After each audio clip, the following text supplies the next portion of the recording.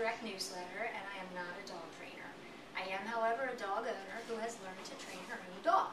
When I first got Buddy about six months ago, he had no manners and no skills. He knew no commands. So he's come a far way since then.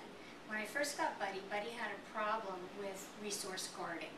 You couldn't take a toy or a treat away from him without his growling at you. So it, it worried me, and I wanted to teach him drop it. In order to do that, the first thing we did well, I had to teach him what the word meant. So we went to the field at the bottom of my house, and I started throwing his favorite Colin toy. Then he'd race after the toy and bring it back, and I'd show him a treat. In order to get the treat, he'd have to drop it. So I'd use the word drop it at the same time. Come here, buddy. Come here. Go ahead. Drop it. Good boy. As you can see, He's come a long way since he couldn't drop a toy. Now he learned to spit it out, and when he'd spit that toy out, he would get a treat. He very quickly started to associate the word drop it with getting something good. Here, buddy. Drop it. Good boy.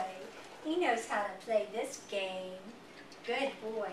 And that's really all there is to it. We practiced and practiced. We did about five minutes every morning and five minutes every evening until he had that skill down pretty cold.